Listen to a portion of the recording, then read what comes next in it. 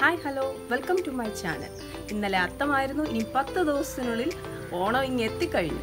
നമുക്കൊരു പ്രഥമൻ ഉണ്ടാക്കിയാലോ? അതും ചപ്പാത്തി പ്രഥമനായാലെന്താ ഈ വീഡിയോ നിങ്ങൾക്ക് ഇഷ്ടപ്പെടുകയാണെങ്കിൽ സബ്സ്ക്രൈബ് ചെയ്യണം ഷെയർ ചെയ്യണം ലൈക്ക് ചെയ്യണം ബെല്ലൈക്കൺ അമർത്തുകയും വേണം. ഇനി നമുക്ക് ചപ്പാത്തി പ്രഥമൻ എങ്ങനെയാണ് ഉണ്ടാക്കുന്നതെന്ന് നോക്കിയാലോ? ചപ്പാത്തി മൂന്നെണ്ണം ശർക്കര പാനി നാല് കപ്പ് തേങ്ങയുടെ രണ്ടാം പാൽ മൂന്നര കപ്പ് തേങ്ങയുടെ ഒന്നാം പാൽ ഒരു കപ്പ്. ചൗവരി കാൽ കപ്പ് വെള്ളത്തിൽ കുതിർത്തത്. പശുവിൻ നെയ് മൂന്ന് ടേബിൾ സ്പൂൺ. കശുവണ്ടി പരിപ്പും ഉണക്കമുന്തിരിയും രണ്ട് ടേബിൾ സ്പൂൺ വീതം. ഏലക്ക രണ്ട് ചെറുജീരകം കാൽ ടീസ്പൂൺ ചുക്ക് ഒരു ചെറിയ കഷ്ണം എന്നിവ കുറച്ച് പഞ്ചസാര ചേർത്ത് പൊടിച്ചെടുത്തത് ഒരു ടേബിൾ സ്പൂൺ. ഇത് പ്രത്യേകതയുള്ള ചപ്പാത്തി ഒന്നുമല്ല. നമ്മൾ സാധാരണ വെള്ളത്തിൽ കുഴച്ചെടുക്കുന്ന സാധാ ചപ്പാത്തിയാണ്. ഇത് തലേദിവസം ഉണ്ടാക്കി വെച്ച് ബാക്കി വന്നതാണേലും കുഴപ്പമില്ല. ഇപ്പം നമുക്ക് ഉടനെ ഉണ്ടാക്കുന്നതാണേലും കുഴപ്പമില്ല. അതെടുത്ത് ചെറിയ കഷ്ണങ്ങളാക്കി അടയുടെ പരുവത്തിന് ചെറിയ കഷ്ണങ്ങളാക്കി നമുക്ക് മുറിച്ചെടുക്കാം. ഇതേപോലെ സ്ക്വയർ പീസസ് ആയിട്ടാണ് മുറിച്ചെടുക്കേണ്ടത്.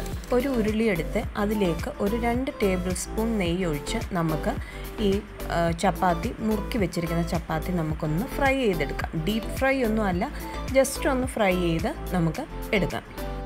ചപ്പാത്തി ഒരു ചെറുതായിട്ടൊന്ന് കരികരിപ്പായതിന് ശേഷം നമുക്ക് രണ്ടാം പാൽ ഒഴിച്ചു കൊടുക്കാം. സാധാരണയായി ഇപ്പോൾ ശർക്കരപ്പാനിയാണ് ചേർക്കേണ്ടത്. പക്ഷെ നമ്മളിവിടെ ചേർക്കുന്നത് രണ്ടാം പാലാണ്. അത് അങ്ങനെ ചേർക്കുന്നതിന് കാരണം നമ്മുടെ ചപ്പാത്തി ഈ പാലിൽ കിടന്ന് ഒന്ന് സോഫ്റ്റ് ആവണം. അതിനു വേണ്ടിയാണ് അങ്ങനെ ചെയ്യുന്നത്.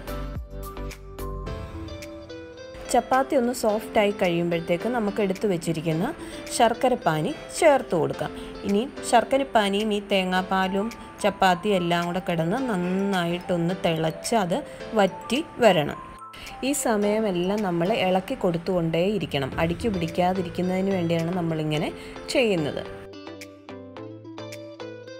ഇത് തിളയ്ക്കുന്ന സമയം കൊണ്ട് നമുക്ക് ചൗവരി ഒരു അര കപ്പ് വെള്ളം ഒഴിച്ച് വേവിച്ചെടുക്കാം. കുതിർത്ത് വെച്ചിരുന്ന ചൗവരി ആയതുകൊണ്ട് പെട്ടെന്ന് തന്നെ ഇത് വെന്ത് കിട്ടും. ഈ വെന്ത ചൗവരിയെ നമുക്ക് പായസം മിക്സിലേക്ക് ഒഴിച്ച് നമുക്ക് ഇളക്കി എല്ലാം കൂടെ ഒരുമിച്ച് ഒന്നും കൂടെ വേവിച്ചെടുക്കാം. ഇതിൽ നമുക്ക് പൊടിച്ചു വെച്ചിരിക്കുന്ന ഏലക്ക ജീരകം ചുക്ക് മിക്സും കൂടെ ചേർത്ത് ഒന്നും കൂടെ നന്നായിട്ട് ഇളക്കി കൊടുക്കുക. ഇപ്പം നല്ലൊരു മണമൊക്കെ വരും. ശർക്കരയും രണ്ടാം പാലും ചൗവരിയും എല്ലാം കൂടെ ചേർന്നൊന്ന് പറ്റി വന്ന് കഴിയുമ്പോൾ നമുക്ക് ഒന്നാം പാൽ ചേർത്ത് ഇളക്കി. ഇനി അധികം സമയം ഇളക്കി തിളപ്പിക്കുകയൊന്നും ചെയ്യരുത്. ഒന്ന് ആവി പൊങ്ങി തുടങ്ങുമ്പോൾ നമുക്ക് സ്റ്റൗ ഓഫ് ചെയ്യാം. ഇനി ഒരു പാൻ എടുത്ത് അതിലേക്ക് ഒരു ടേബിൾ സ്പൂൺ നെയ്യ് ഒഴിച്ച് അണ്ടിപ്പരിപ്പും കിസ്മിസും വറുത്ത് നമുക്ക് പായസത്തിലേക്ക് ഇട്ട് കൊടുക്കാം.